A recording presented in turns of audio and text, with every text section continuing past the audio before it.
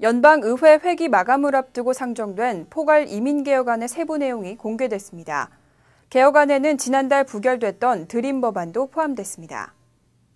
이번에 공개된 포괄 이민개혁안은 전반적으로 조지 부시 전임 대통령이 추진했던 이민개혁안의 내용과 비슷하지만 구제 대상자는 올 9월 말까지 미국에 입국해 살고 있는 불법 체류자들로 구제 대상을 확대했습니다. 연방정부는 불체자 구제를 위해 합법 이민 예정자라는 체류 비자를 개설하고 범죄 기록이 없는 단순 불체자와 그 직계 가족에게 발급할 계획입니다. 비자 기간은 최고 4년이며 연장 가능하지만 신청 시에는 신청비와 함께 벌금 500달러를 추가로 지불해야 합니다.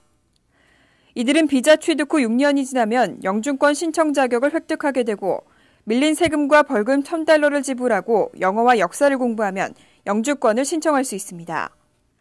또 개혁안에는 지난 22일 부결됐던 불체 자녀를 구제하는 드림 법안도 재포함됐습니다. 하지만 의회 마감을 앞두고 법안이 상정된 만큼 올해 안에 통과될 가능성은 많지 않은 편이라고 전문가들은 분석하고 있습니다.